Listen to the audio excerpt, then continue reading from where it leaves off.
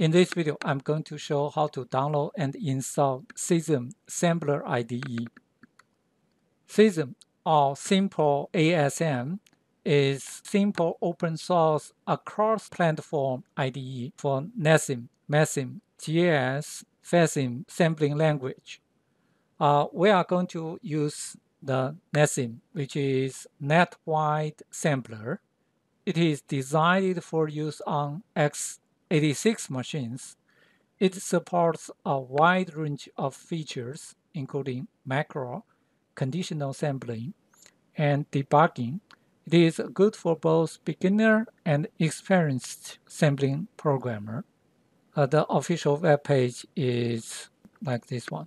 So let's let's go to the web page.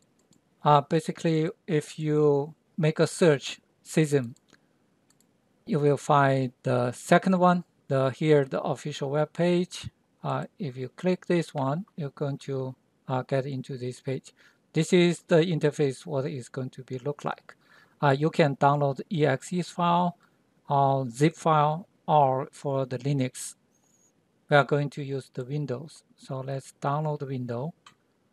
Uh, it is very small. It's only uh, 19 megabyte. Uh, you see here also can be installed in the Mac. Let's go to the download folder to find out this is the file. It's exe file, so you double click to install it. To install software, you need system admin privilege to install in your local machine. Installation procedure is very simple, straightforward, uh, nothing special. Just click the license agreement, click shortcut, and then click install.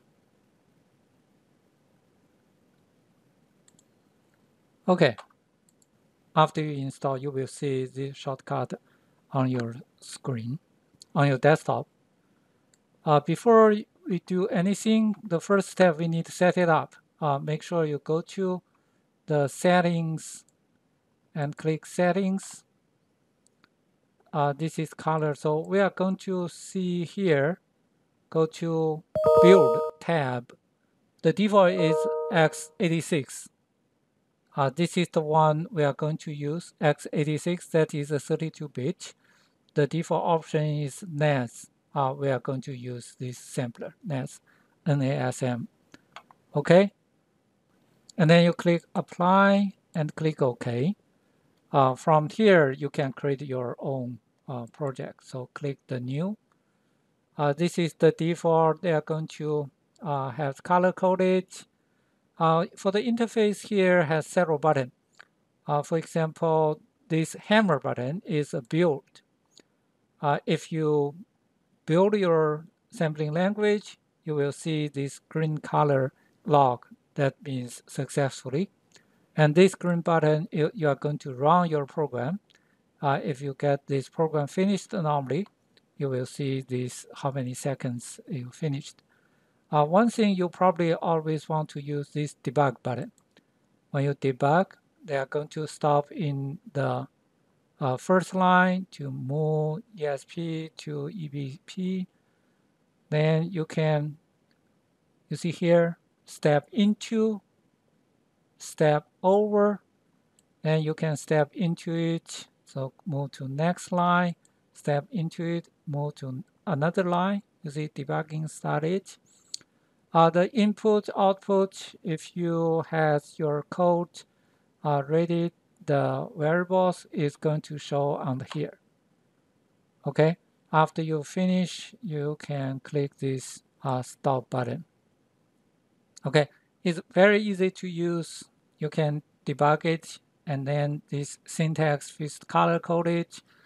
Uh, you have this mnemonics. You see this is mnemonic operand. Use command to separate. Um, make sure you understand this semicolon is not the part of the program. Semicolon is just uh, for mark and the comments. The here, you, you see started with semicolon, this is green color, that means it's comments. Semicolon used for the comments. Okay, thank you very much. See you next time.